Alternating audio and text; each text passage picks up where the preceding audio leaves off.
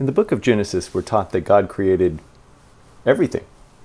But more importantly, we're taught the order of events that those things were created in.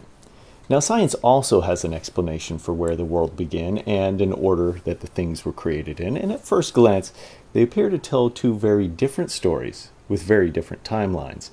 But would you be surprised if I told you that they were, in fact, both telling us the same exact story? Would you be surprised if I could use science to prove the events of the biblical account were true? Is it possible to have the Big Bang and God too? Or are the two accounts fundamentally at odds with one another? If you stick with me, I think you'll be surprised. In this documentary, we'll be taking a look at the things that most people get hung up on, analyze the apparent contradictions between science and the Bible, and use science to validate what Scripture already tells us. I'm Michael Wilson, and this is the science behind the Bible.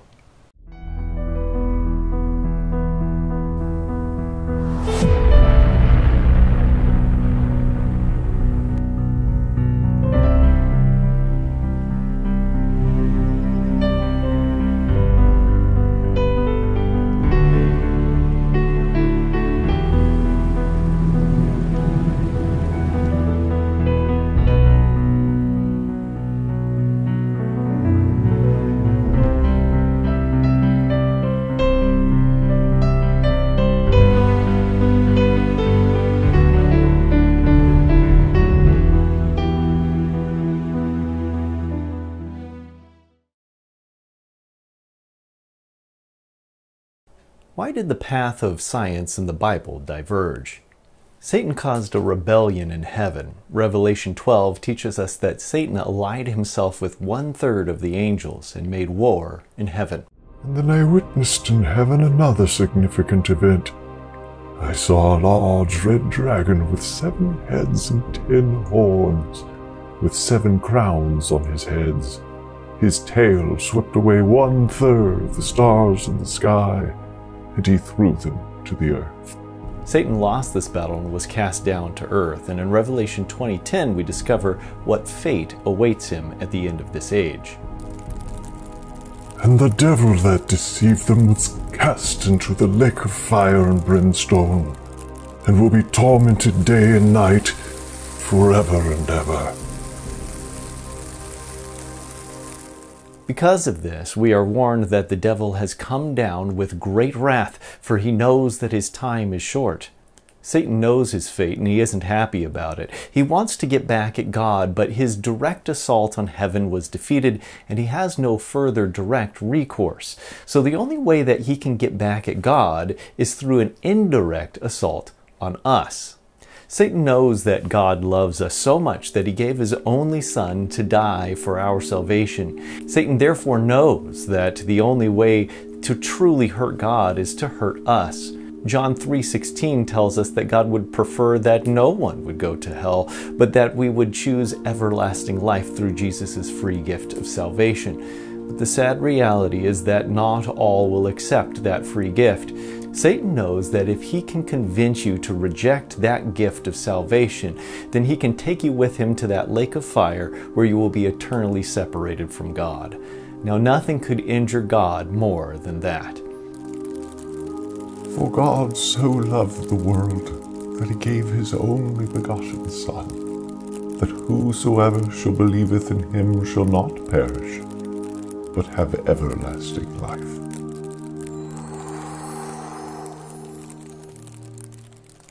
And so, since the dawn of time, Satan has persisted in his lies in an effort to deceive you into rejecting God's free gift of salvation.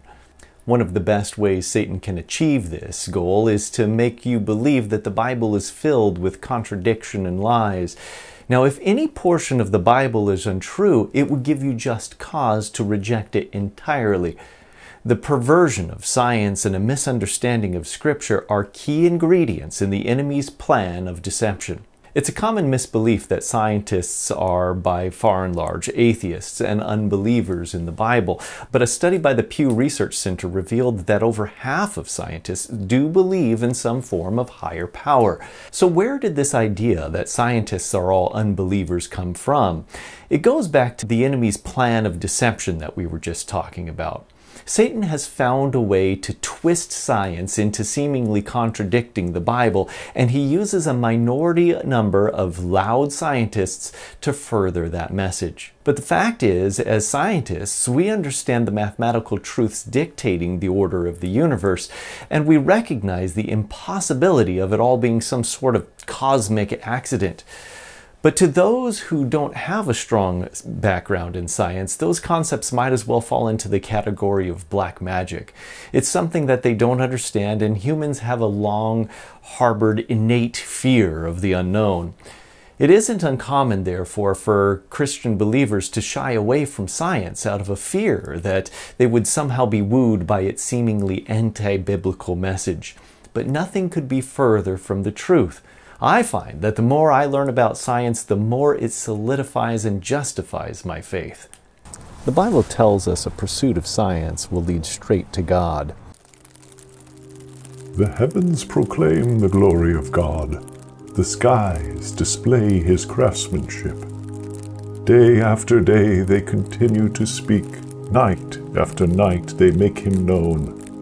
They speak without sound or word. Their voice is never heard, yet their message has gone throughout the earth, and their words to all the world.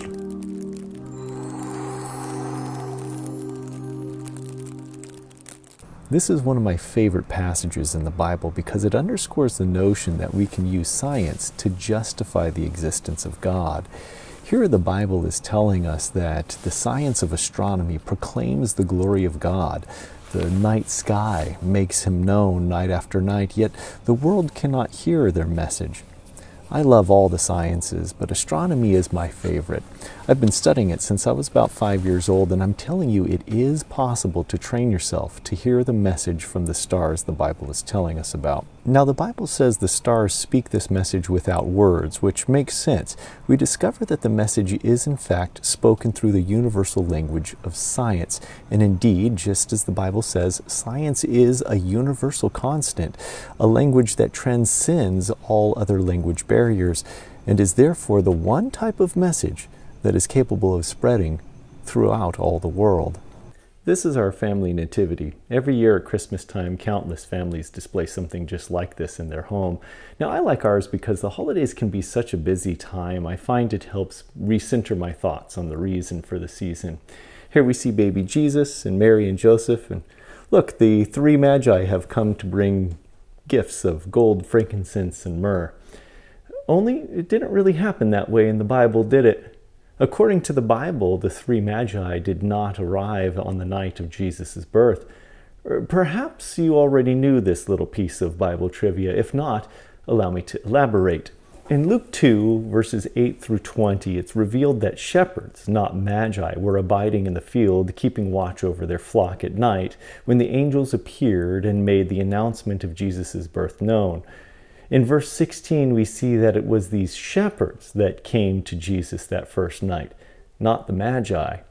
We read about the Magi in Matthew chapter 2. The Bible says, There came wise men from the east to Jerusalem.